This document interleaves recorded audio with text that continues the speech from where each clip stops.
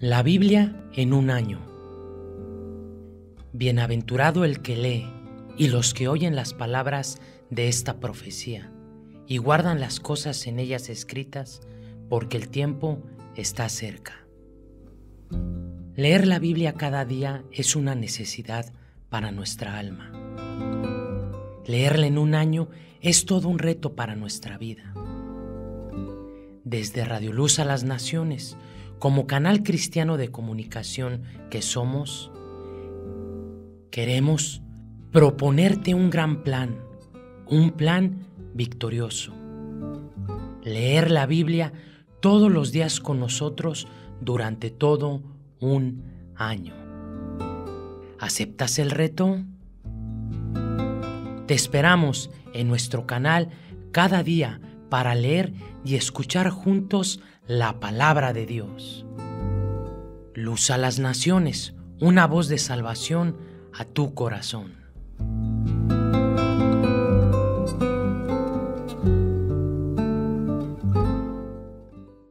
El libro de los Proverbios Capítulo 6 Hijo mío, si salieres fiador por tu amigo, si has empeñado tu palabra a un extraño, te has enlazado con las palabras de tu boca y has quedado preso en los dichos de tus labios. Haz esto ahora, hijo mío, y líbrate, ya que has caído en la mano de tu prójimo. Ve, humíllate y asegúrate de tu amigo. No des sueño a tus ojos, ni a tus párpados adormecimiento. Escápate como gacela de la mano del cazador, y como ave de la mano del que arma lazos. Ve a la hormiga, oh perezoso, mira sus caminos y sé sabio la cual, no teniendo capitán, ni gobernador, ni señor, prepara en el verano su comida y recoge en el tiempo de la siega su mantenimiento. Perezoso, ¿hasta cuándo has de dormir? ¿Cuándo te levantarás de tu sueño? Un poco de sueño, un poco de dormitar, y cruzar por un poco las manos para reposo. Así vendrá tu necesidad como caminante y tu pobreza como hombre armado. El hombre malo, el hombre depravado, es el que anda en perversidad de boca que guiña los ojos, que habla con los pies, que hace señas con los dedos. Perversidades hay en su corazón, anda pensando el mal en todo tiempo, siembra las discordias. Por tanto, su calamidad vendrá de repente, súbitamente será quebrantado, y no habrá remedio. Seis cosas aborrece Jehová, y aun siete abomina su alma.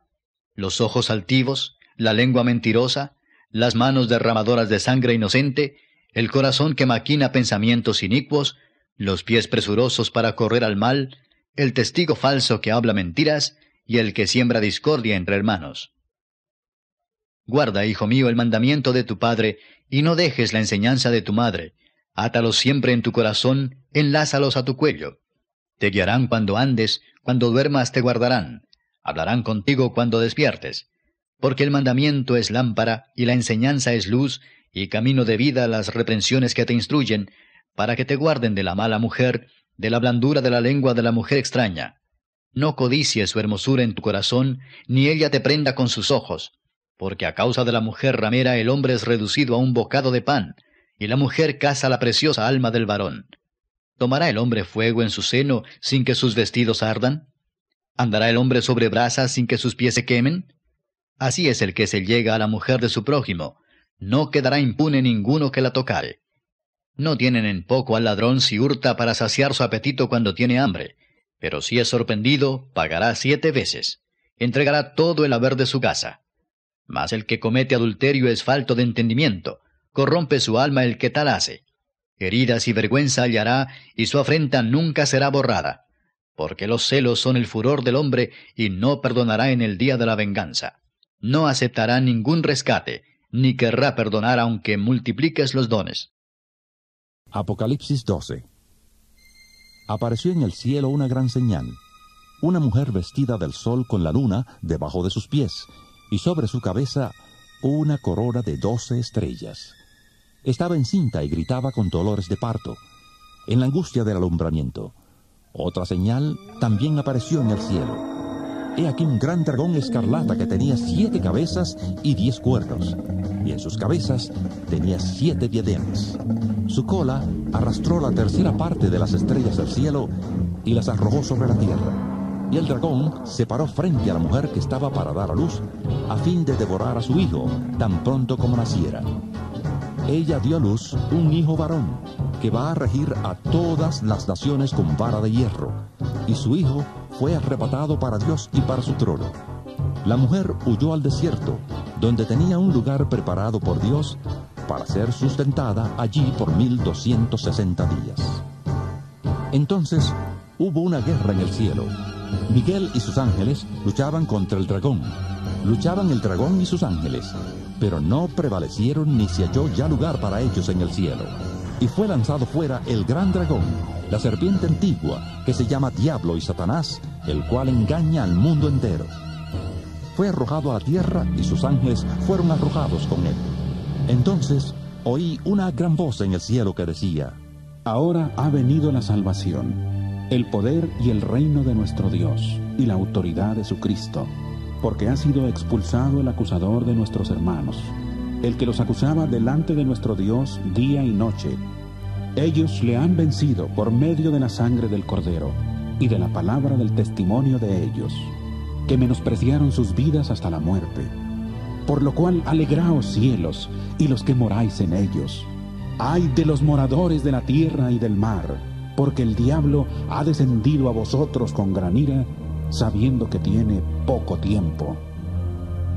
Cuando el dragón vio que había sido arrojado a la tierra, persiguió a la mujer que había dado a luz al hijo varón, pero se le dieron a la mujer las dos alas de la gran águila, para que volara de delante de la serpiente al desierto, a su lugar, donde es sustentada por un tiempo, tiempos y la mitad de un tiempo. Y la serpiente arrojó de su boca tras la mujer agua como un río, para que fuera arrastrada por el río. Pero la tierra ayudó a la mujer, pues la tierra abrió su boca y se tragó el río que el dragón había echado de su boca. Entonces el dragón se llenó de ira contra la mujer y se fue a hacer la guerra contra el resto de la descendencia de ella contra los que guardan los mandamientos de Dios y tienen el testimonio de Jesucristo. Libro de Nehemías Capítulo 4 Cuando oyó Sanbalat que nosotros edificábamos el muro, se enojó y se enfureció en gran manera, e hizo escarnio de los judíos. Y habló delante de sus hermanos y del ejército de Samaria, y dijo, ¿Qué hacen estos débiles judíos? ¿Se les permitirá volver a ofrecer sus sacrificios? ¿Acabarán en un día? ¿Resucitarán de los montones del polvo las piedras que fueron quemadas? Y estaban junto a él Tobías Amonita, el cual dijo, Lo que ellos edifican del muro de piedra, si subiere una zorra, lo derribará. Oye, oh Dios nuestro, que somos objeto de su menosprecio, y vuelve el baldón de ellos sobre su cabeza, y entrégalos por despojo en la tierra de su cautiverio. No cubra su iniquidad, ni su pecado sea borrado delante de ti, porque se airaron contra los que edificaban. Edificamos pues el muro y toda la muralla fue terminada hasta la mitad de su altura, porque el pueblo tuvo ánimo para trabajar. Pero aconteció que oyendo Sanbalad y Tobías, y los árabes, los amonitas y los de Asdod, que los muros de Jerusalén eran reparados, porque ya los portillos comenzaban a ser cerrados, se encolerizaron mucho, y conspiraron todos a una para venir a atacar a Jerusalén y hacerle daño. Entonces oramos a nuestro Dios, y por causa de ellos pusimos guarda contra ellos de día y de noche. Y dijo Judá, Las fuerzas de los acarreadores se han debilitado, y el escombro es mucho, y no podemos edificar el muro. Y nuestros enemigos dijeron, No sepan ni vean hasta que entremos en medio de ellos y los matemos y hagamos cesar la obra. Pero sucedió que cuando venían los judíos que habitaban entre ellos, nos decían hasta diez veces, De todos los lugares de donde volviereis, ellos caerán sobre vosotros. Entonces por las partes bajas del lugar, detrás del muro y en los sitios abiertos, puse al pueblo por familias, con sus espadas, con sus lanzas y con sus arcos. Después miré y me levanté y dije a los nobles y a los oficiales y al resto del pueblo, No temáis delante de ellos. Acordaos del Señor, grande y temible, y pelead por vuestros hermanos, por vuestros hijos y por vuestras hijas, por vuestras mujeres y por vuestras casas. Y cuando oyeron nuestros enemigos que lo habíamos entendido y que Dios había desbaratado el consejo de ellos, nos volvimos todos al muro, cada uno a su tarea. Desde aquel día, la mitad de mis siervos trabajaba en la obra, y la otra mitad tenía lanzas, escudos, arcos y corazas, y detrás de ellos estaban los jefes de toda la casa de Judá. Los que edificaban en el muro, los que acarreaban y los que cargaban, con una mano trabajaban en la obra y en la otra tenían la espada. Porque los que edificaban, cada uno tenía su espada ceñida a sus lomos, y así edificaban. Y el que tocaba la trompeta estaba junto a mí. Y dije a los nobles y a los oficiales y al resto del pueblo, La obra es grande y extensa, y nosotros estamos apartados en el muro, lejos unos de otros. En el lugar donde oyereis el sonido de la trompeta, reuníos allí con nosotros. Nuestro Dios peleará por nosotros. Nosotros pues trabajábamos en la obra, y la mitad de ellos tenían lanzas desde la subida del alba hasta que salían las estrellas. También dije entonces al pueblo, Cada uno con su criado permanezca dentro de Jerusalén, y de noche sirvan de centinela y de día en la obra. Y ni yo, ni mis hermanos, ni mis jóvenes, ni la gente de guardia que me seguía, nos quitamos nuestro vestido. Cada uno se desnudaba solamente para bañarse. Capítulo 5 Entonces hubo gran clamor del pueblo y de sus mujeres contra sus hermanos judíos. Había quien decía, Nosotros, nuestros hijos y nuestras hijas, somos muchos. Por tanto, hemos pedido prestado grano para comer y vivir. Y había quienes decían, Hemos empeñado nuestras tierras, nuestras viñas y nuestras casas para comprar grano a causa del hambre. Y había quienes decían, Hemos tomado prestado dinero para el tributo del rey sobre nuestras tierras y viñas. Ahora bien, nuestra carne es como la carne de nuestros hermanos, nuestros hijos como sus hijos. Y he aquí que nosotros dimos nuestros hijos y nuestras hijas a servidumbre, y algunas de nuestras hijas lo están ya, y no tenemos posibilidad de rescatarlas, porque nuestras tierras y nuestras viñas son de otros y me enojé en gran manera cuando oí su clamor y estas palabras. Entonces lo medité y reprendí a los nobles y a los oficiales y les dije, ¿Exigís interés cada uno a vuestros hermanos? Y convoqué contra ellos una gran asamblea y les dije, Nosotros, según nuestras posibilidades, rescatamos a nuestros hermanos judíos que habían sido vendidos a las naciones. ¿Y vosotros vendéis aún a vuestros hermanos y serán vendidos a nosotros? Y callaron, pues no tuvieron qué responder. Y dije, No es bueno lo que hacéis. ¿No andaréis en el temor de nuestro Dios para no ser oprobio de las naciones enemigas nuestras? También yo y mis hermanos y mis criados les hemos prestado dinero y grano. Quitémosles ahora este gravamen. Os ruego que les devolváis hoy sus tierras, sus viñas, sus olivares y sus casas, y la centésima parte del dinero, del grano, del vino y del aceite que demandáis de ellos como interés. Y dijeron, Lo devolveremos, y nada les demandaremos haremos así como tú dices. Entonces convoqué a los sacerdotes y les hice jurar que harían conforme a esto.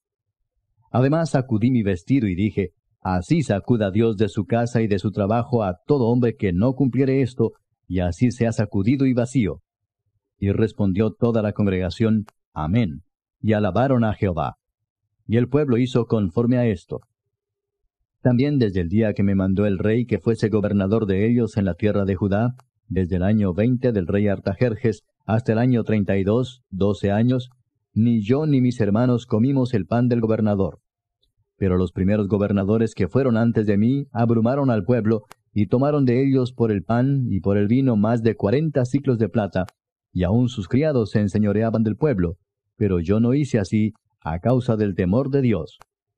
También en la obra de este muro restauré mi parte, y no compramos heredad y todos mis criados juntos estaban allí en la obra.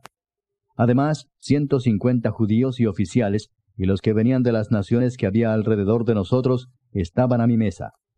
Y lo que se preparaba para cada día era un buey y seis ovejas escogidas.